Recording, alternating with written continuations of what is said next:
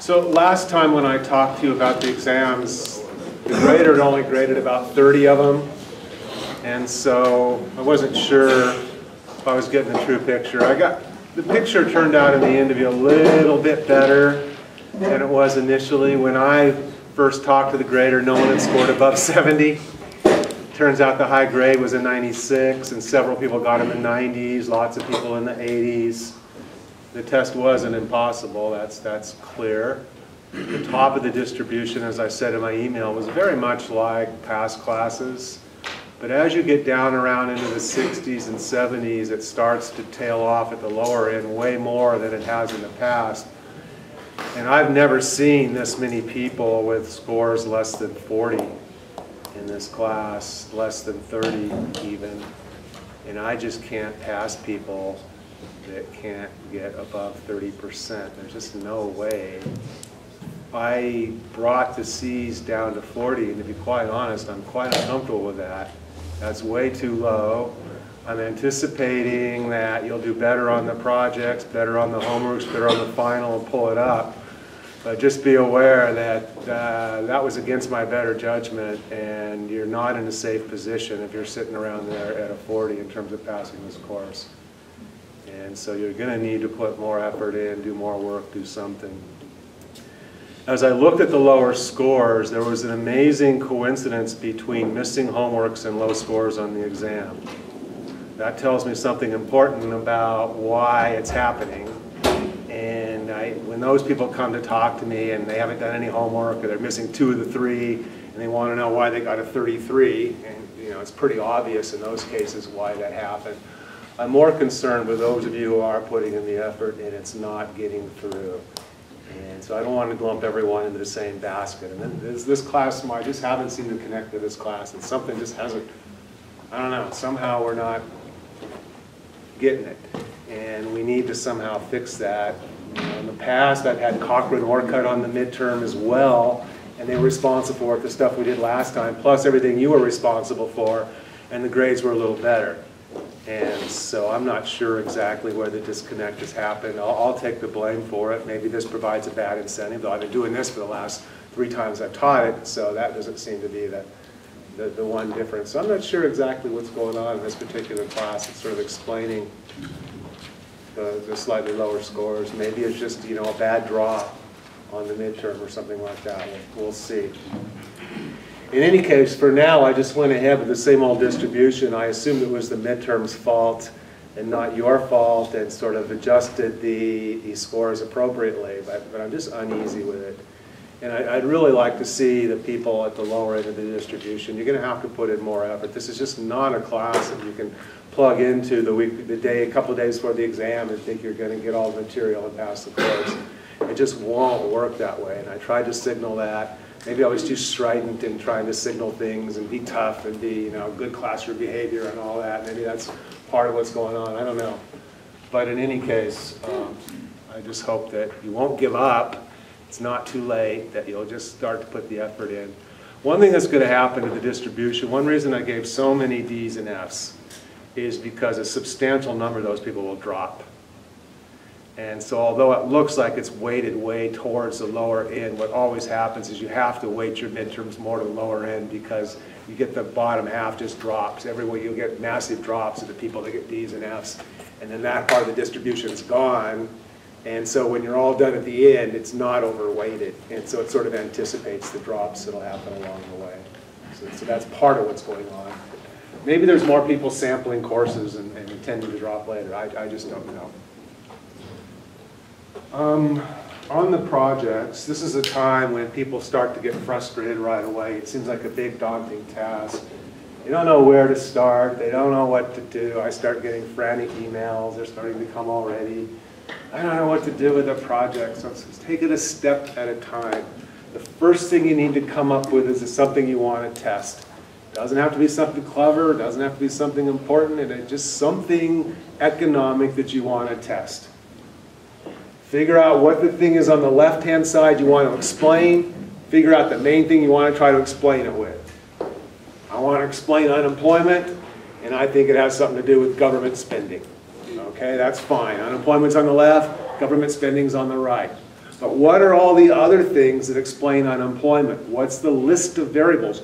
You want every important variable on the right-hand side of your equation that's going to explain unemployment, not just that one variable. So what you need to do is sit down and think for a while, okay, this is the thing I want to explain, this is what I want to explain it with, this is what economic theory tells me the sign should be. When government spending goes up, unemployment goes up. There's some other weird theories, we get the other result, but basically that's what they mostly say. And so, okay, that's what the theory tells me, but what else needs to be in that equation to explain unemployment? What other sorts of things might affect unemployment besides, because I don't want omitted variable biases in my model, I want to put in all the things that um, explain unemployment, and just put those on the right-hand side. And so the first step is simply that, just coming up with a list of variables that are going to explain the thing you want to explain. Then you're going to have to go out and find the data, and that's when it's going to get a little bit harder. With macro data, you're pretty safe. You know it's mostly out there.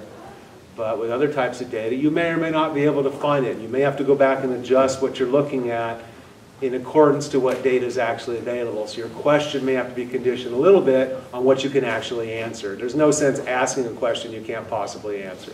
There's no data there. And so you may have to iterate back and forth a little bit between, okay, here's the data, here's what I want to look at, and, and how can I make those two things match.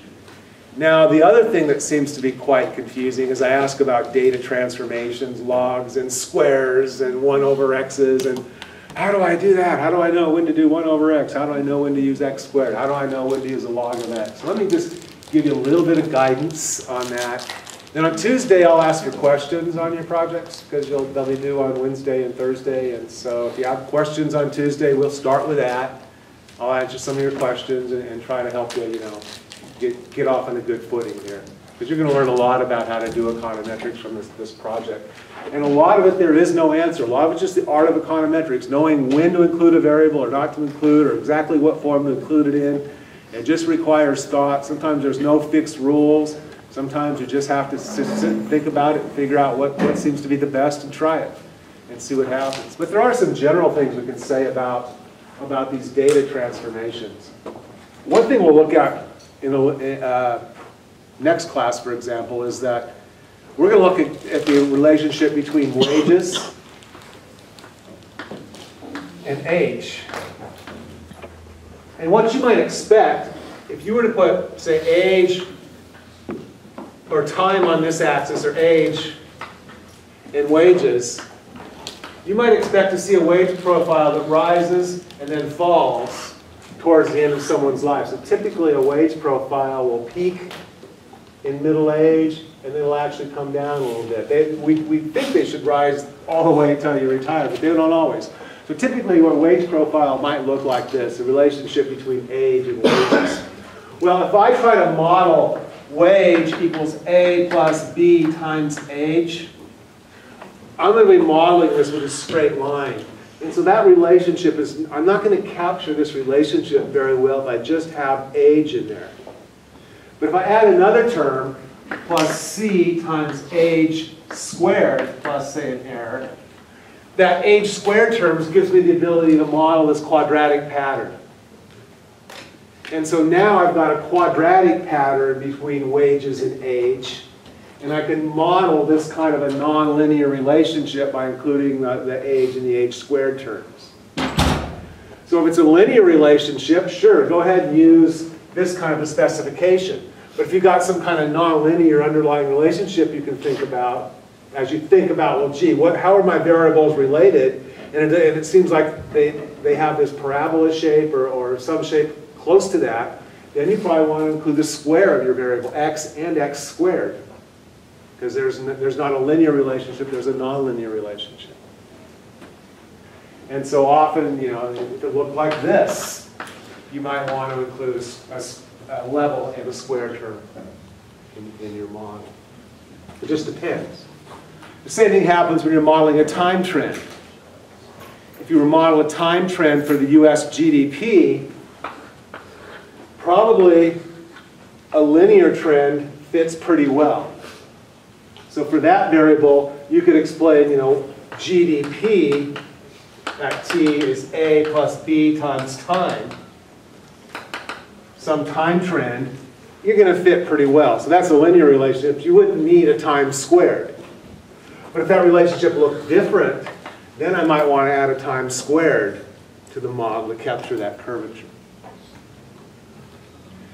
The other way that you can sort of capture nonlinear relationships is if the variable is growing exponentially.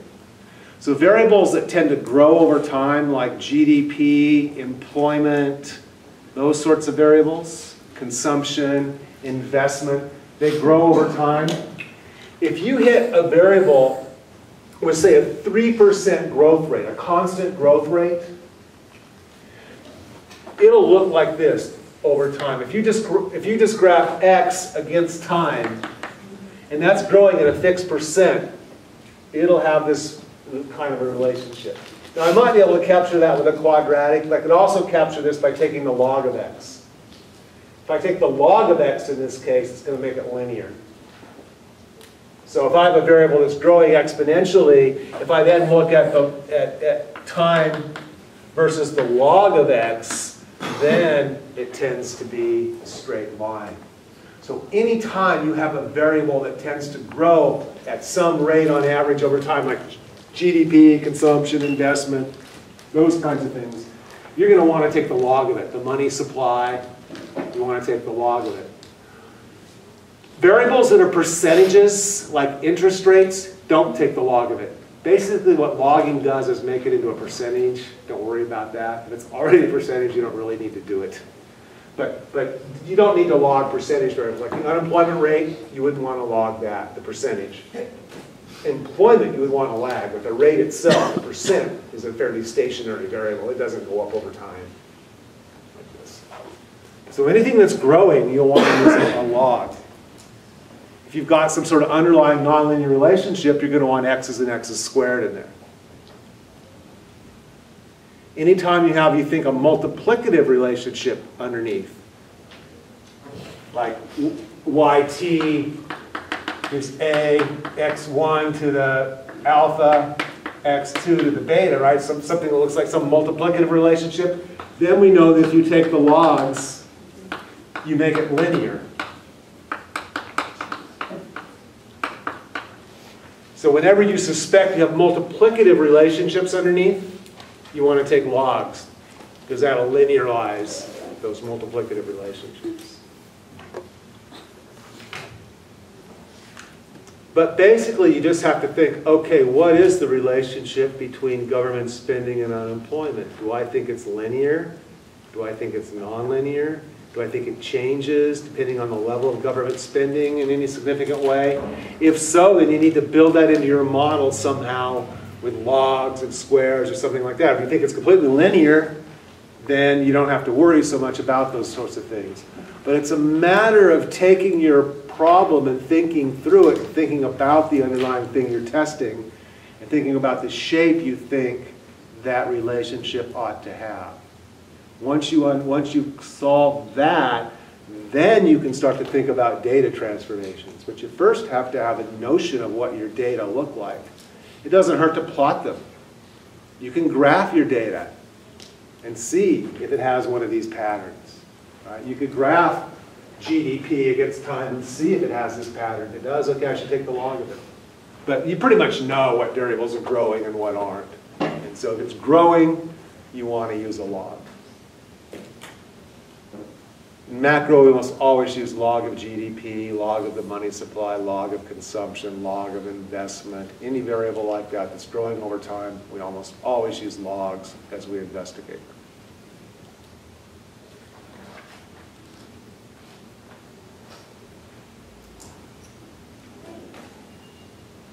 Question?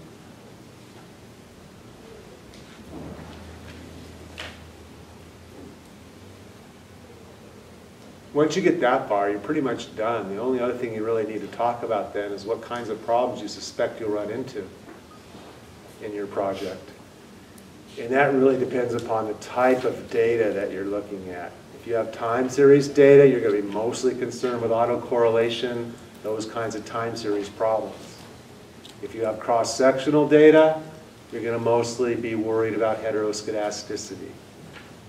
And so And you want to say that. I'm not worried about autocorrelation because I am worried about heteroscedasticity because I have a scale variable on the right-hand side. And we know scale variables often cause heteroscedasticity. I have a variable on the right-hand side that's known to be persistent, like GDP or something like that. I suspect I'm going to have autocorrelated errors. So I'm going to have to check for it. And if I have them, I'll fix it this way. If I have had heteroscedasticity, I'll fix it this way. So think of an hypothesis. What's on the left? What are you explaining? What are you explaining it with? What else goes in the regressions? What's the shape of the relationship? How do I model it appropriately? And what problems do I think I'll run into? And that's, you know, that's basically it. That's, that's, that's what you need to do. I'm not expecting that in a week you're going to finish your projects. This is an attempt to push you, get you off to a start, and then I'll keep having benchmarks along the way so you don't wait till Thursday if it's due on Friday to start it.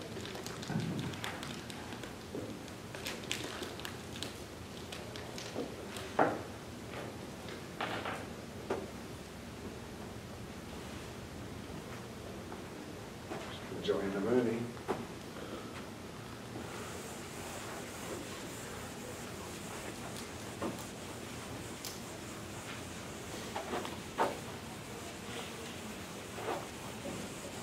I never know if I should be amused or offended when I talk about people that don't even know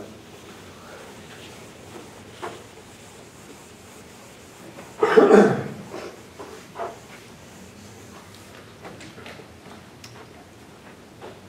Okay. Anything else?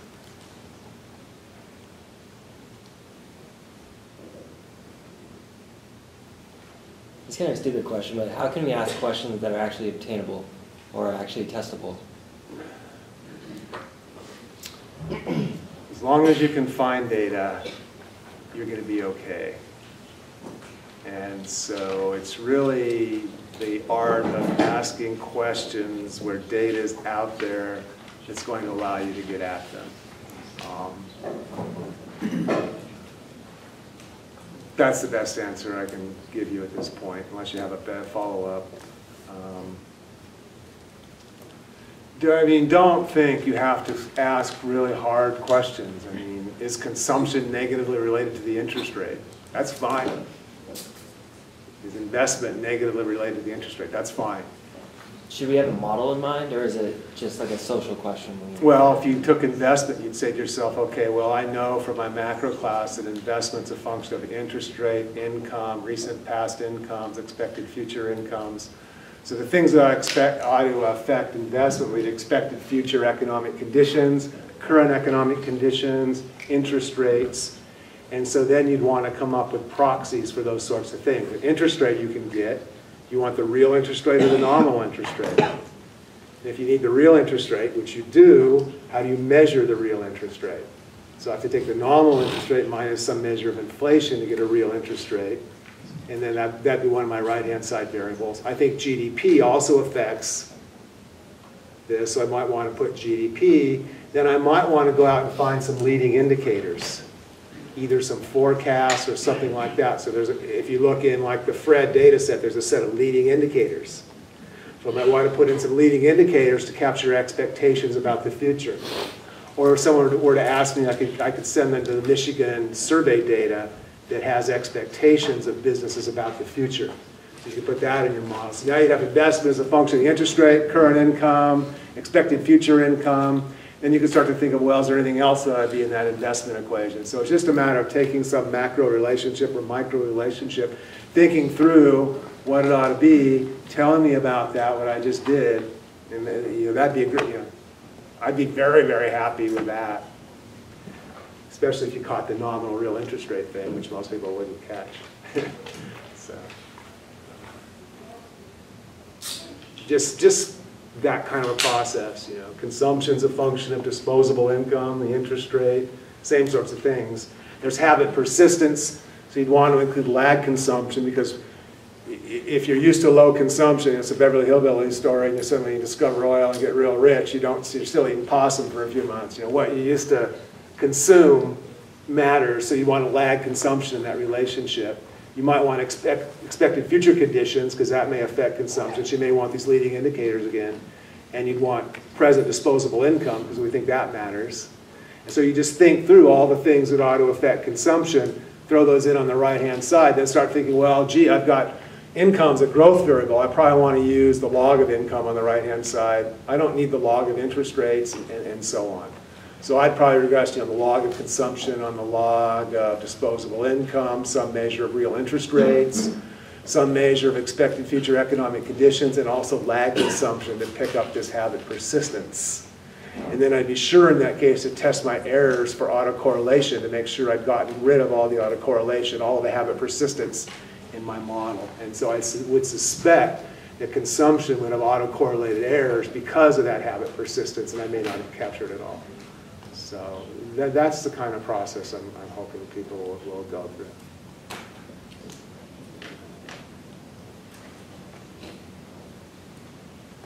Money demands a function of income and the interest rate. Things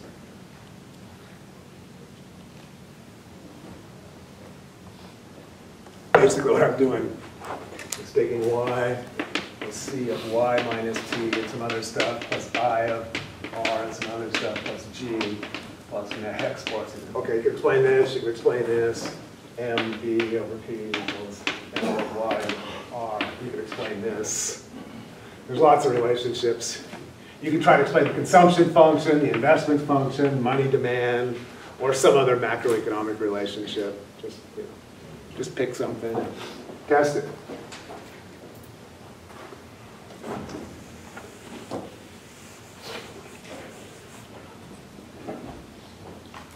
More? Does that help at all? Supposed to, yeah, yeah.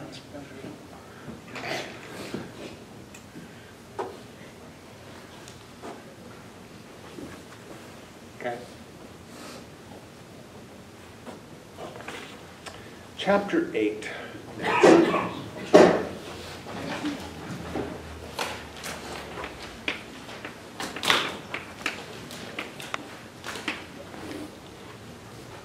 Again, on Tuesday, I'll come in and ask about questions on the projects.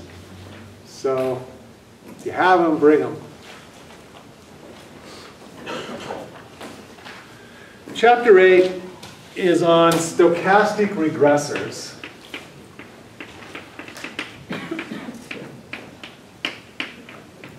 And measurement error.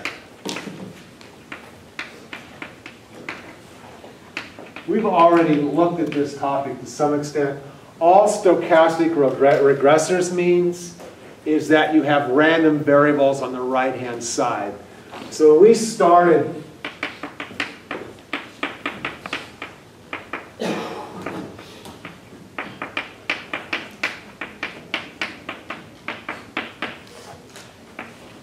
when we first started looking at these models, we assumed the x's were fixed in repeated samples. They were chosen by the investigator. They were non-random. So initially, we, we took the very easy case when these x's are non-random.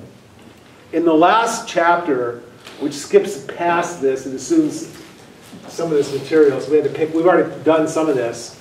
The last chapter, we did things like add lagged y here, and that's a random variable. So in the last chapter, we've already allowed for these x's to be random, but we want to do that again. So we're going to generalize we've done already and let the x's be random. Now the main problem here, when the x's become random, is sometimes the x's are going to be correlated with the error. Whenever the x's are correlated with the error, you have a bias and potentially a consistency problem. You may or may not. You always have a bias problem.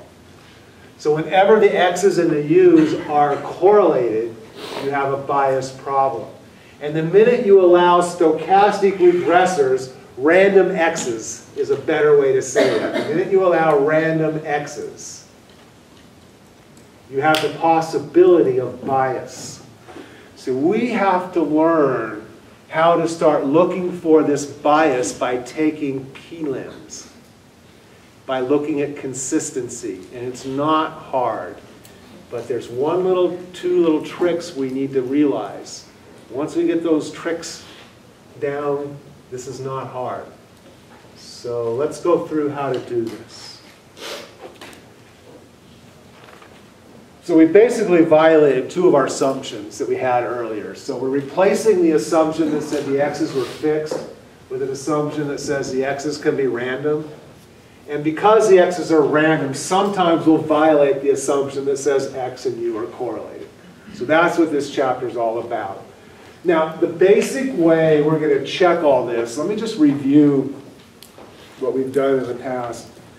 For a two-variable model, for yi is beta 1 plus beta 2 x2i plus ui. We, are, we know that beta 2 hat is the sum of the xi minus x bar times yi minus y bar over the sum of the xi minus x bar squared.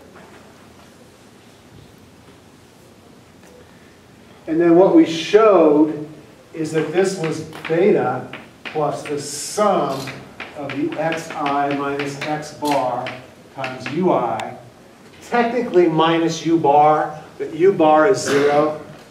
The errors have zero mean, so I'll just leave it off, over the sum of the xi minus x bar squared. I'm hoping you've seen that enough times so you know how to get from those two steps.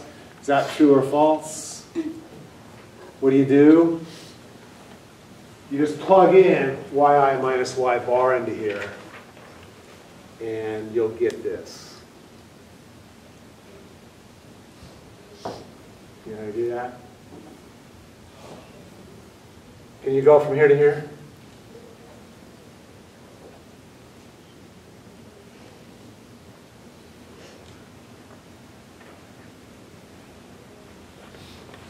That's something you should have learned last quarter.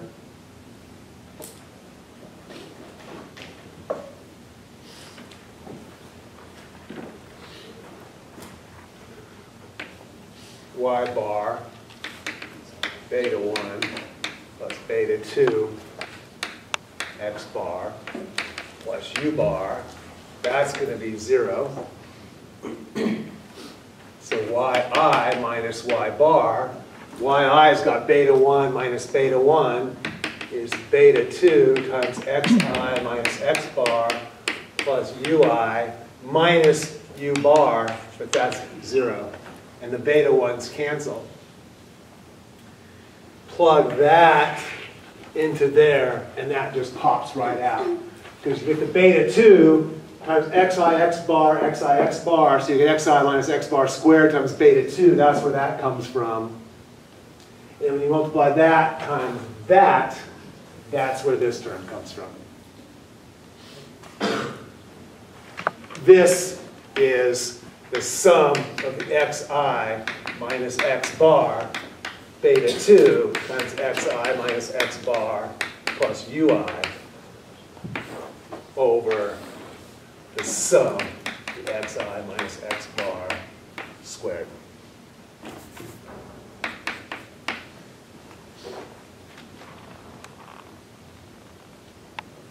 So that times that is xi squared times beta 2. So you just get a beta 2 because that and that cancels with that. And then you get this times this is that term.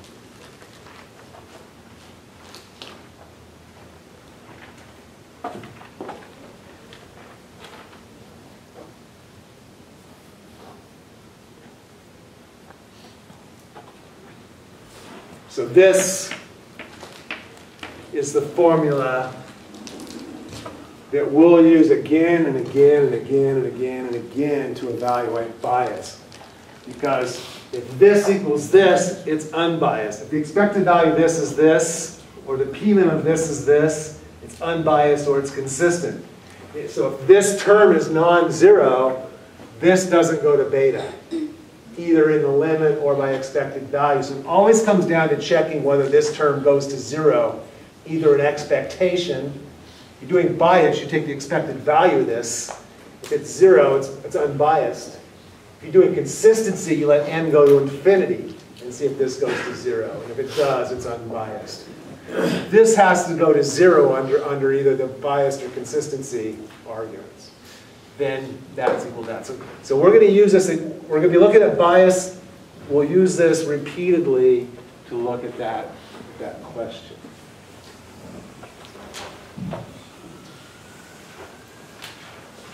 Now, what we use is the fact that if A and B are independent, then the expected value of AB is equal to what? EA times EB. So that's the key thing that you use to, to do this proof. So in the usual case, xi for all i is independent of uj. So e, xi is independent of ui, xi's, i and j could be the same or they could be different. x1 is independent of u4. x1 is independent of u1. It doesn't matter if i and j are the same. That's because this runs over all the x's down here. This goes from i equals 1 to n. And so if this is correlated with any of the x's, you get a non-zero term here. This has all the x's in it. So if this is correlated with any of these, you're going to get a non-zero term here. Anyway, so we use this to say, okay, the expected value of beta hat is beta, that's just a parameter, it's not a random variable, so we don't have to take as expectation, plus the expected value of that term, the sum of the xi minus x bar times ui over the sum of the xi minus x bar squared.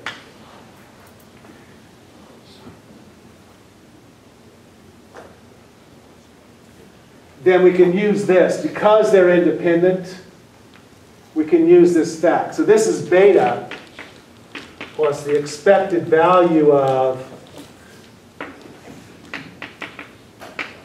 the sum of the xi minus x bar over the sum of the xi minus x bar squared times the expected value of ui.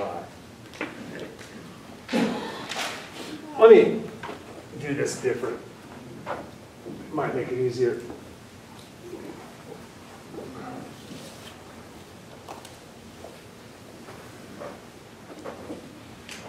Go back to this part. The book lets AI equal xi minus x bar over the sum of the xi minus x bar squared. So remember, you can write this beta hat is beta plus the sum of the AI UI. You remember doing that last quarter and earlier in the course?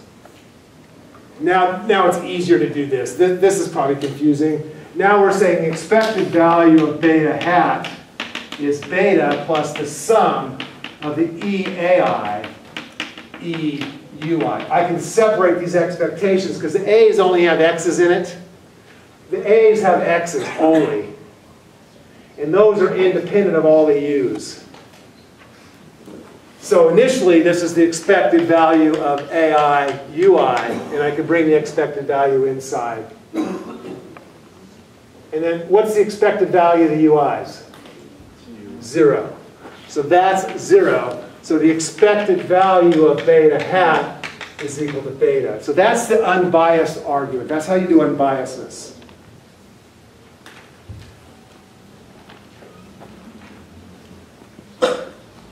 So it's probably easiest to do it this way rather than this way. So just, that may not be the way to do it.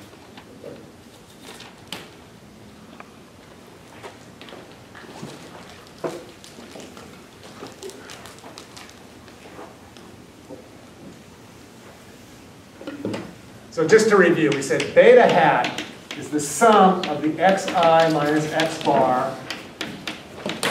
This is a formula that should have been seared into your head in the first quarter. With an open book test, I don't know if it was, but it should have been. Then beta hat is beta plus the sum of the xi minus x bar times ui over the sum of the xi minus x bar squared. We showed you how to do that a few minutes ago by subbing in from yi minus y bar. This part here is ai. So beta hat is beta plus the sum of the ai ui, where ai has this definition.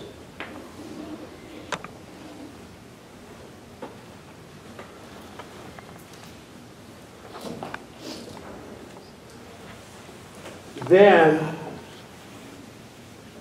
the expected value of beta hat is beta plus the expected value of the sum of the AI UI,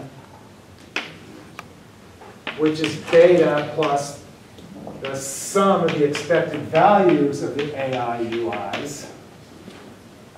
You can switch these, these are both linear operators, so they're invertible. You can bring the expectation across the sum sign. Expected value of A plus B is expected value of A plus expected value of B. That's what we're using there. Okay. Then this is equal to, if they're independent, this is beta plus the sum of the EAI, EUI. That goes to zero. It's only if they're independent that I can do this. That's where the independence matters is separating these two terms. Once you do that, this is equal to beta, and it's unbiased. So that's how you show unbiased. You look at whether the x's and the u's are correlated, or independent. If they're independent, then you can bring this expectation across and do them separately, and you'll get a zero there.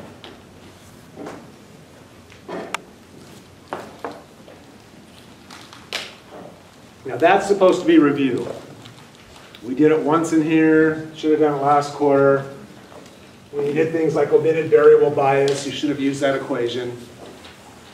So I'm hoping that's, that's review. Now to do the, the consistency is a little bit different. So let's do consistency. It's easier, I think.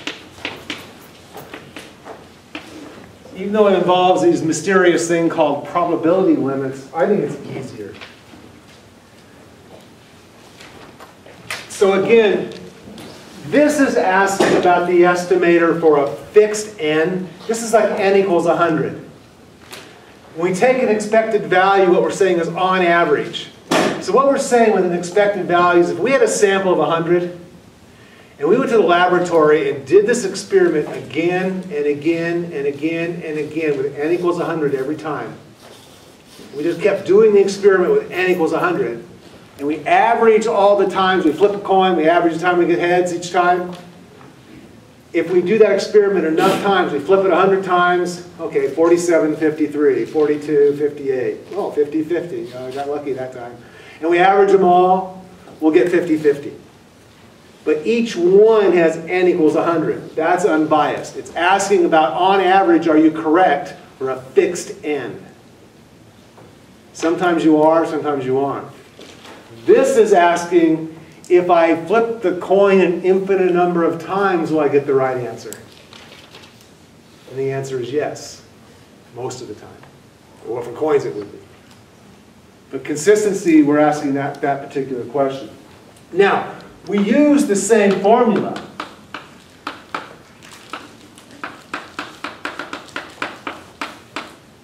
Let me make this u i minus u bar even. This is zero. So let me just write it anyway.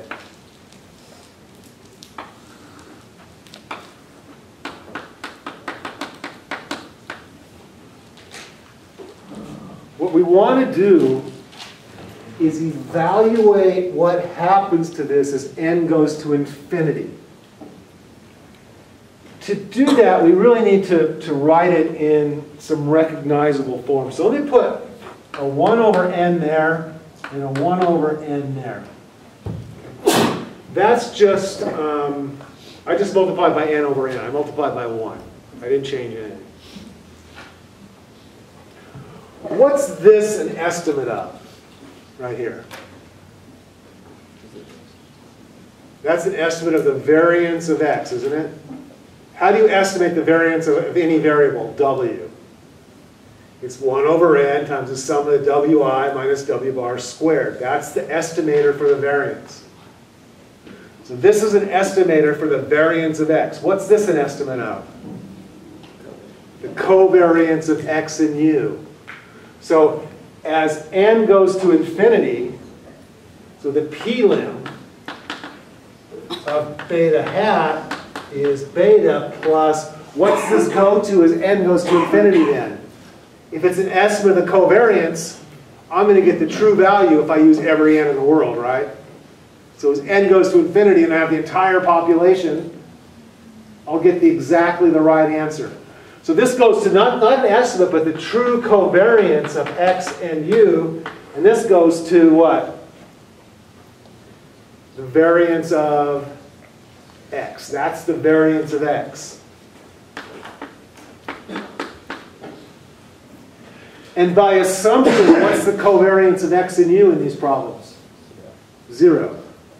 So as long as x and u are uncorrelated, that goes to zero, and this is equal to beta. And so it's consistent if the covariance of x and u is zero. It, you also need that the variance of x is non-zero. That just means you need some spread in your x's. We already knew that. That's one of our assumptions, that there's more than one x value.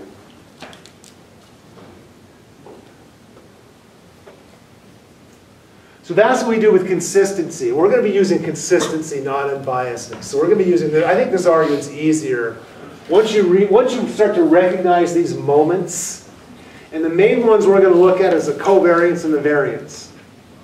So whenever you see a form that looks like the sum of the zi minus z bar times 1 over n, what's that go? Squared. What's that going to go to in the limit? That's going to go to the variance of z as n goes to infinity. Or sometimes we'll call it sigma squared z. Is the other way we'll write it. And then we have 1 over n times the sum of the zi minus z bar times wi minus w bar. What's that go to? The covariance of z and w. And it's these covariance terms, we're going to, we're, we're going to end up evaluating these, these kinds of terms a lot. I won't do it. Sometimes they write this as sigma zw as the covariance, but I'm not going to use that symbol much, so I won't, I won't write it down.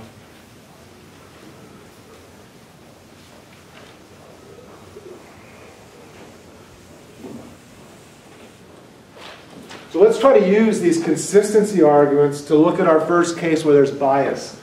So let's use these consistency arguments to look at errors in variable.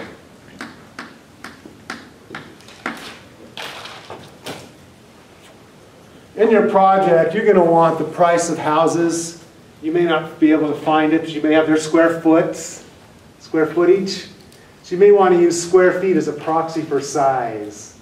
Or you may want to use other variables that are imperfect measurements. You may want um, people's income in a cross section, but the data you're using is only estimated to the nearest 10,000. So the income's measured with error. It's plus or minus something. What happens when your variables are measured with error? Does that cause any big problems? And it turns out it does. So let me take a variable xi. let's write it as zi plus wi. So xi is the measured variable. This is, this is what we actually measured. This is the true value. And this is the error. So I measure the length of this tabletop, and it has some true value. But my measured value is going to be off a little tiny bit. So it won't be measured perfectly. Now, if that error is tiny, we'll see it's not going to hurt as much. But if I've got a really, really bad measurement of this table, it's only, you know, plus or minus two feet, and I care about precision, I'm kind of fitting it into time and space, that, that error is going to hurt me. So big measurement errors we'll see are going to cause big troubles in our regression model. They're going to bias the coefficient. So we need to prove that. We need to prove that error measurement like this causes bias in regression models. So that's what we're showing. And we'll use these consistency arguments to do it.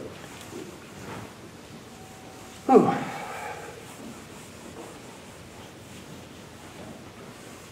Stop me if you've heard this one. Okay. There's two possibilities for errors.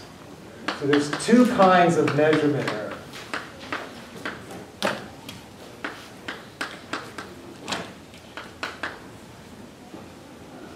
One is error in the x's, and the other is error in the y's. This is not a big problem. Hardly a problem at all. And I'll show that eventually. This, though, leads to bias and inconsistency. That is, this is a problem.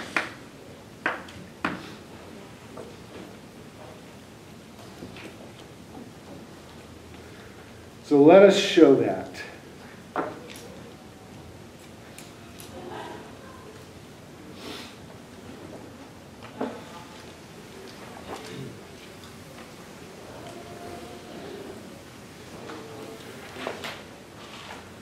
So the true relationship between two variables is yi equals beta 1 plus beta 2 zi plus vi. So that's the true relationship. We're just making it two variables to make it simple. But we can't measure zi directly. Or perfectly better. Directly, perfectly. But we have a noisy measure.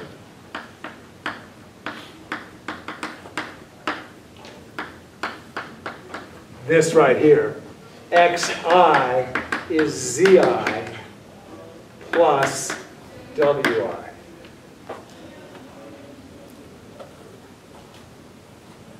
So we have a variable that's close to zi, but it's, it's measured with error.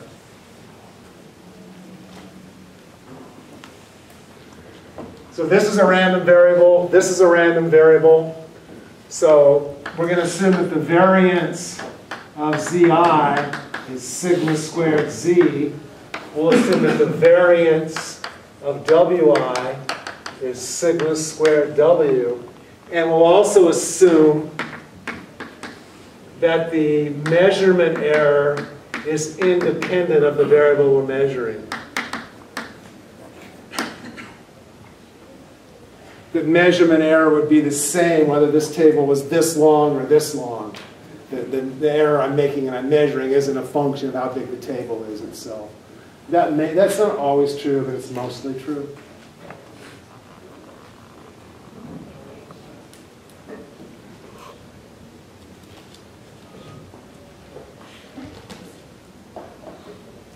Trying to fill a cylinder up to a certain line. It's not going to matter how high the line is up on the cylinder. Your error is going to be pretty much the same no matter how big the variable is. So mostly this, this is going to be true. So what we're going to have to do is we're not going to be able to regress yi on zi because we don't know zi. We don't have a measure of zi. What we could do is regress yi on xi, the thing that's really close to zi. Does that work? Is that okay? So let's rewrite our model in terms of the observables. So we know that zi from that equation is xi minus wi. So let's plug that into here.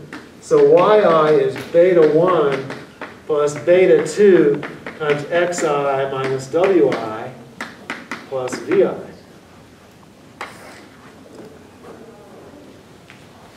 X is a little skinny there. Shadows.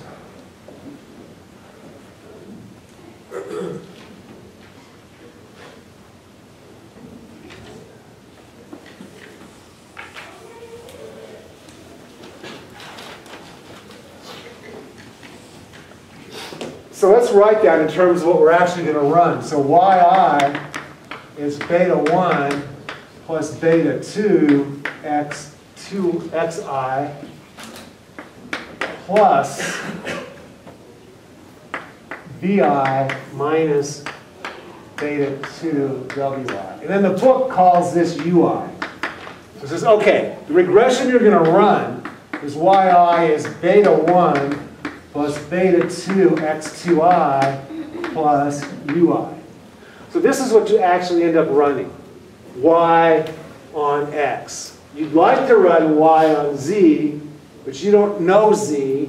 You only know z with an error, so you run it on x instead. Use the closest thing you can find to it. This is what you end up with. Now here's the problem. In UI, UI has WI in it, right? That's what UI is right there. The UI has WI in it, doesn't it? Yes, it does. XI, X, I'm just right, X2i, XI, X2i, doesn't matter. XI is equal to what? ZI plus minus WI. This has WI in it. This has WI in it. What's that mean in terms of their correlation? They're correlated, so we're going to have problems. So this has WI in it. This has WI in it. So they're correlated. That's a problem. We're going to show that explicitly mathematically, but trying to get you to just see whenever x and u are correlated, you have bias and inconsistency. We haven't shown it yet. And so we can see we've got a problem because that has WI in it and that has WI in it.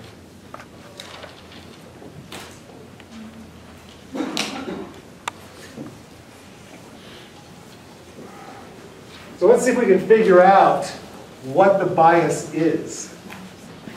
What exactly is the bias and what does it depend upon?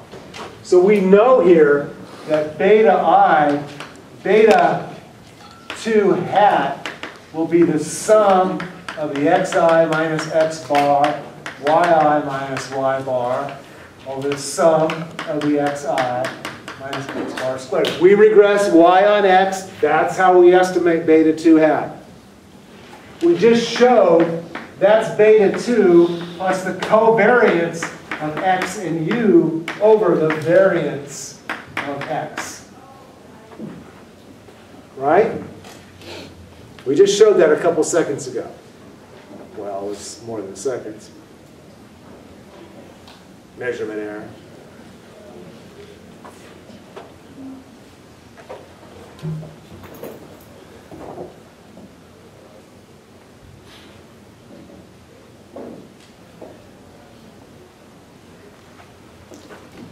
Let's look at those two terms. What's x equal? z minus w, is that right? Plus, thank you. You're right. And what does u equal? V minus beta W. So let's make sure this is non-zero. So the variance of x is the variance of z plus w.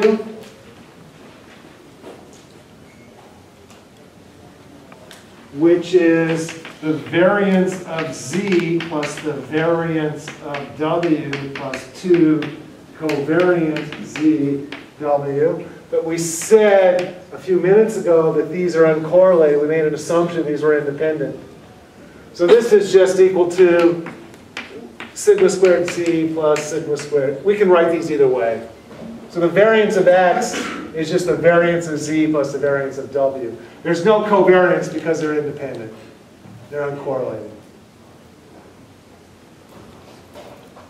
Remember, the variance of ax plus by is a squared variance x plus b squared variance y plus 2ab covariance xy. So that 2ab, that's what makes it a nonlinear operator, if you know what that means. If not, ignore what I just said. So what's the covariance? Oops.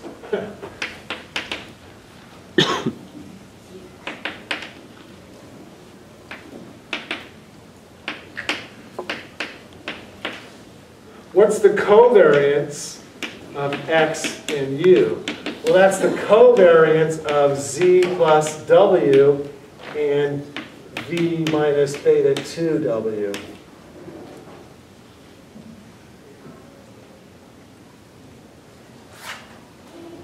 Just putting in the definitions of x and u. z and v are independent, z and w are independent. It's only these two terms here that are going to be a problem. So we can say, we can rewrite that as, um,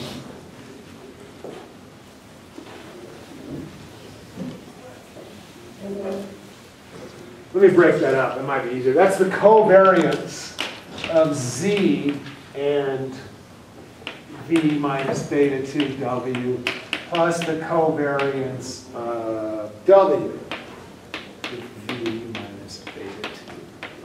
I just broke this up into two pieces. You either remember that rule or you don't. That's a 420 rule.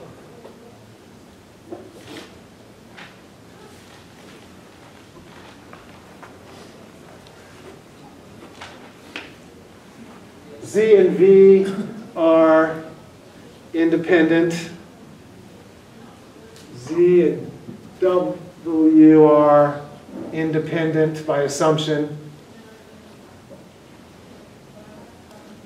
Do you mean covariance of comma, W?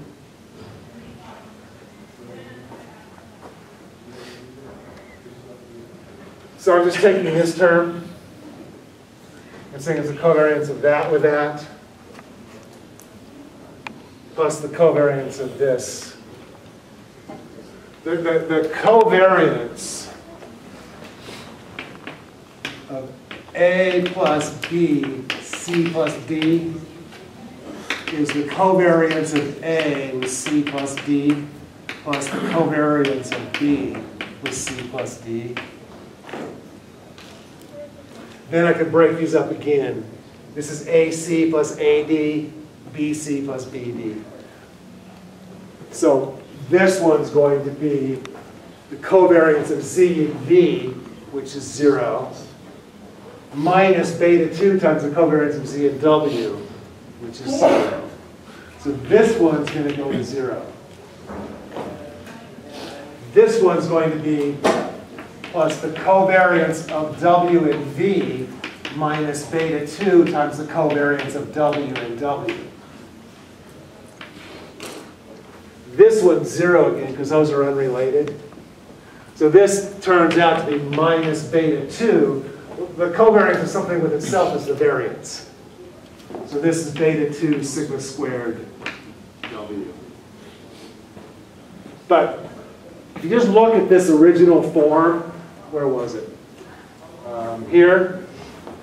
You can see the only thing that's going to be correlated are that and that. Only going to be correlated when you have the same terms. You're going to get minus beta 2 sigma squared W out of this. If there was another z here, then, then I'd have to worry about that. But there's only one common term. so That's the only place. All these things are independent. They're all independent random variables. So it's only if it appears in two places that you get any covariance. So this then is that covariance. All right. So you're all confused. Maybe, maybe not. What can I do to help?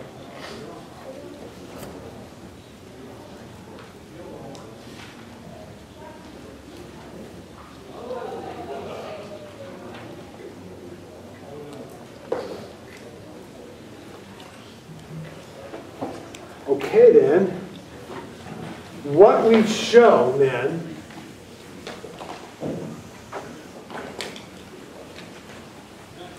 we said that the plim, or the consistency of beta hat, is beta plus the covariance of x and u over the variance of x. And we said, okay, that covariance of x and u is minus sigma squared minus, this is equal to beta minus beta 2, beta 2 sigma squared w over the variance of x was what? Sigma squared z plus sigma squared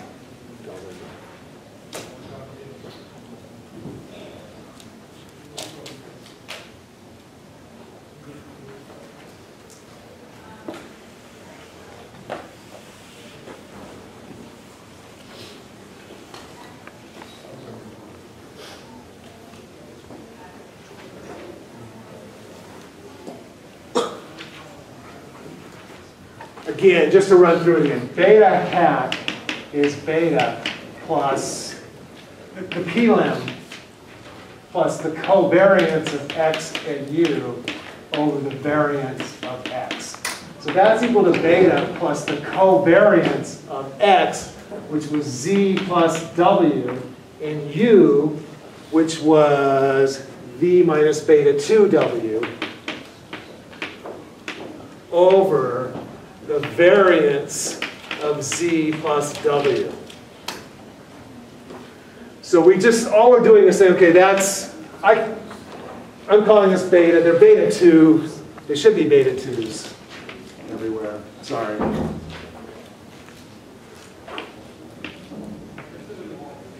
So this is beta 2 minus, we said this thing on the top, you get minus beta 2 sigma squared w. It's just this term and this term is the only thing that intersect. So you get minus beta 2 sigma squared w from those right there. Just multiply this out. You get zv, okay, that's expected value 0 because they're not related. You get z beta 2w, zw is 0 because they're not related. The expected value of z and w is 0 because they're unrelated. Then you're going to get VW, and then, oh, there's the one, minus beta 2W squared. You just multiply this out, you get four terms. And it's only when you get a common term that you have a non-zero expectation, because they're all independent. So the only thing that comes out of this is this W2, when you multiply that out.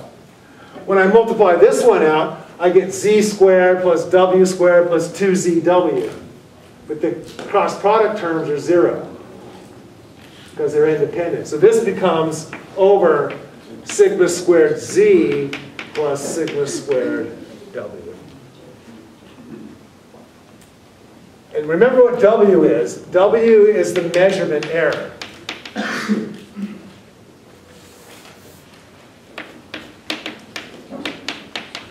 This is the true value and this is the measurement error. If, if the variance of this is zero, if this is always zero, what's the bias here? What's the inconsistency? Zero. So there's no problem at all if this has zero variance, if this isn't there. As that variance goes up, what, what happens? Let sigma squared w go to infinity. What's this? What does sigma squared w over sigma squared z plus sigma squared w? What's that go to as sigma squared w goes to infinity? If you like, what is 1 over sigma squared z over sigma squared w plus 1. What's that go to when, when that goes to infinity? Goes to 1. So if you have infinite variance, what would this go to? Beta 2. What's beta 2 minus beta 2? 0. So the bigger w is, the more this is biased towards 0. So in this case, the coefficients are biased toward 0. And the bias is larger, the worse the measurement error. When the measurement error is tiny, if this is a tiny number, 0.00000000001, and this is like 1, this is nothing. You're off a little bit, but it's not enough to worry about. It's only as sigma squared W, your measurement error gets bigger and bigger and bigger, that the inconsistency becomes large enough to worry about. And at some point, it would become important. Now, a couple of caveats here. The, this is biased toward zero. That's always true when you only have a y and an x in a two-variable model. The beta 2 will always be biased toward zero if beta 2 is positive. If beta 2 is negative, the bias goes the other way. But it's, it's, in the standard case, it's always biased toward zero. If I have three variables in my model, or four variables, or like an x2 and an x3, I don't know the direction of the bias. So this is a special case that we actually know the direction of the bias. What we do know is it is biased always when you have measurement error, and the degree of the bias goes up as sigma squared w goes up. So that result is general. We just don't know for sure that, that the result is negative, that the bias is towards zero like it is here.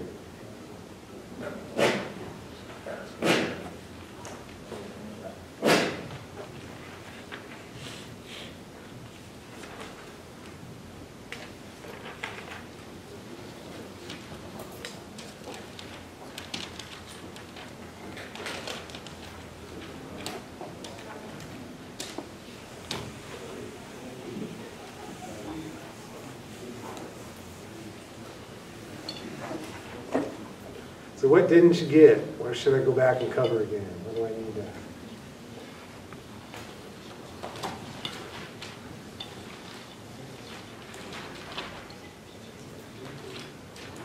to? We need that brave person who doesn't think they're the only one who doesn't get things. I don't seem to have that person in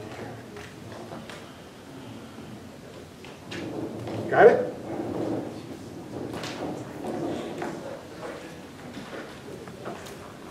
So this tells us something about imperfect proxies.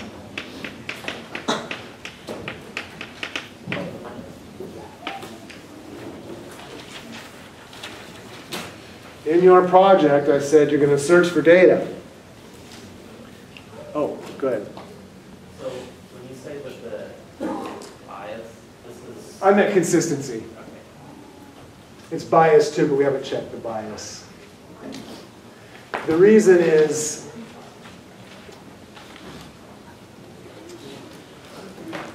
because U is correlated with some of these x's down here. When we look at the formula, beta hat is beta plus the sum of the xi minus x bar times the ui over the sum of the xi minus x bar squared. This ui is correlated with some of those things down there. And we don't know how to take those kinds of expected values. Because the expected value of A over B is not equal to EA over EB. In general, that's just not true. So when this is correlated with the things in the denominator, there's no good way to take an expectation. But plims, you're fine. It is true that the plim A over B is plim A over plim B. So plims lets you do things you can't do with expectations operators. That's why we use them here. And so they're, they're way easier to work with when we have these ratios and correlations between numerators and denominators and nonlinearities and all that. We just don't know how to use the expectation operator in those cases. But the plim works fine. Because it's always that the plim AB is plim A times plim B, no matter if they're correlated or not. With an expectation operator, EA is EA times EB only if they're uncorrelated. When they're correlated, you don't know what to do, like here. And so the plim works for you. And so, yeah, I, I was sloppy with my language there.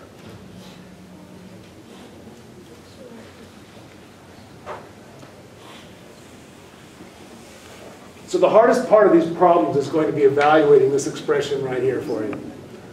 That's the step that you don't seem to have in your heads.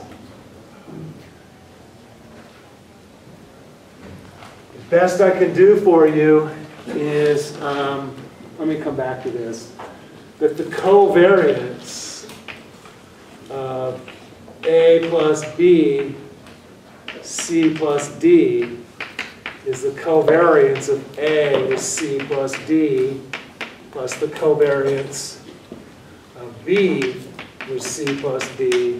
And that's the covariance of A and C plus the covariance of A and D plus the covariance B and C plus the covariance of B and D. You just multiply it out, basically. And look at those covariances.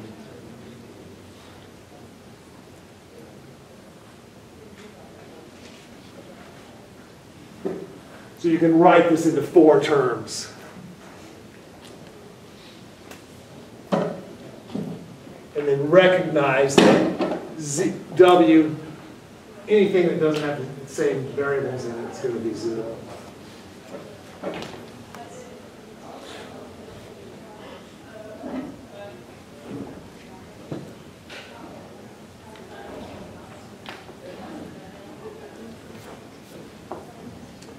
So when you're doing your project, invariably, you're going to want a variable you don't have. I want house size. Oh, I can't find data on house size. I can find data on income. So they're sort of correlated, but they're not the right variable, or you can find some other variable that's sort of number of swimming pools or something like that as a proxy for house size. Those are basically measurement error problems. And what it tells you is when you use proxies for the real variable, you're going to introduce bias. So long as the proxy is really, really close, if you could show that there's a tight relationship between house size and, and what you pay for it, and it probably is, your proxy is probably pretty darn good. But if there's not a tight relationship between your proxy and the actual variable, you may be introducing quite a bit of bias. So proxies are okay, but you have to make an argument that are highly related to the variable that you want to look at. Okay, one last topic and then we'll get the heck out of here for the day. So, what if the error, what if the measurement error is an independent variable? So suppose it's in y instead of x. This is not a problem at all. So here's the true model. Qi equals beta 1 plus beta 2 x 2i plus ui. That's, that's the true model. If we had qi, we just estimate that. We don't have qi. What we observe is yi, which is qi plus, this is the measurement error. The book uses ri here. So there's your measurement error right there.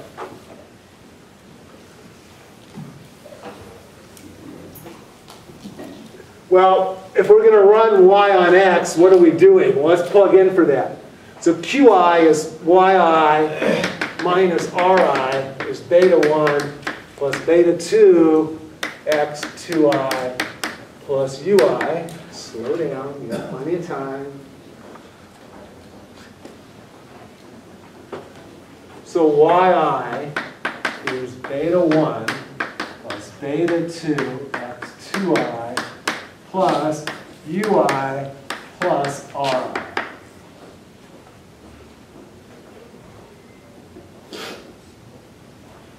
But there's no ri in x. x,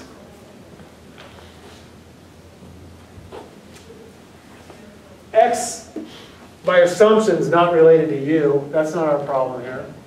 And it's not related to ri either. ri's in yi, but it's not in x. x is just some other variable. So there's no correlation between x and r. So all we did was make the error a little bit bigger. One of the reasons for having an error in your model is y is imperfectly measured. And so all this does is make it a little less efficient. It makes it a little, the error a little bigger. So you can have a little more error in your model. Your t's are going to be a little smaller. Your standard error is going to be a little bigger. But, you know, so, so the, the error goes up, but there's no bias, no inconsistency.